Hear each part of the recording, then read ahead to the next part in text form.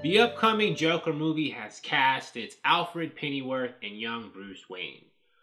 I'm on comingsoon.net, and this first paragraph here reads that Douglas Hodge of The Night Manager and Penny Dreadful and Dante Pereira Olson, Happy You Were Never Really Here, they've been cast in Todd Phillips' upcoming Joker movie as Alfred Pennyworth and young Bruce Wayne.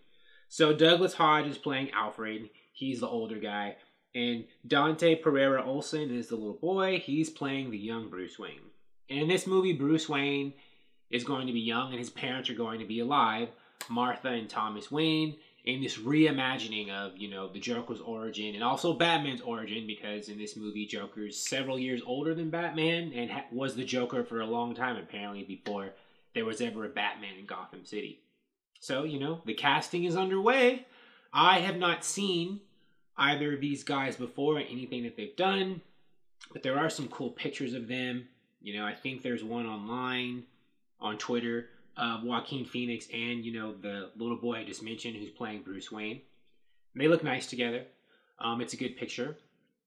So, you know, the casting's underway. It's going to be interesting. I don't think we've seen a live action DC movie yet where we get to see young Bruce Wayne and his parents together, you know, all alive at the same time for a long period of time. I think usually when they've shown that, it's been briefly, I think, just before his parents get shot and killed or whatever. However, I'm not sure if the way they are in this movie will be the way it's really supposed to be because this is like an Elseworlds alternate universe Joker from what I've read. You know, it's supposed to be separate from the rest of the DCEU. So the relationship and the dynamic between the Waynes isn't even supposed to be the real one, you know, that the Waynes had, you know, in the Justice League BVS universe, whatever that was.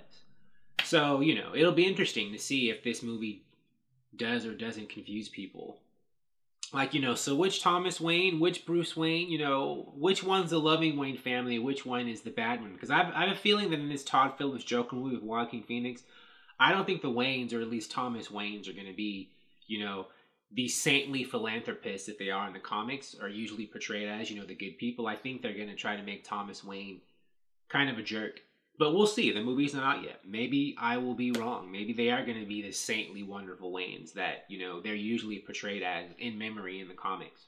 Thank you for watching. If you like this video, please like it on YouTube and subscribe to the channel because I appreciate your viewership and I'll talk to you soon. Bye.